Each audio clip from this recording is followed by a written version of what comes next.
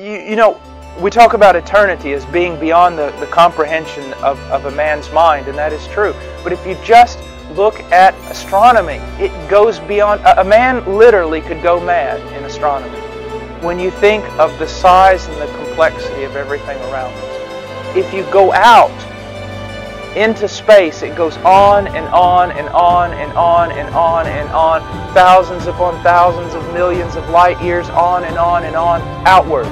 And yet Christ, the one who died for you, the one who washed the disciples' feet, is the one who did this and sustains it. If the whole universe was a supercomputer, a supercomputer the size of the universe could not bring together and hold together the complexities, even to understand them. It's just phenomenal. And this is the one who was born in a manger. Does Jesus really need the worship of men?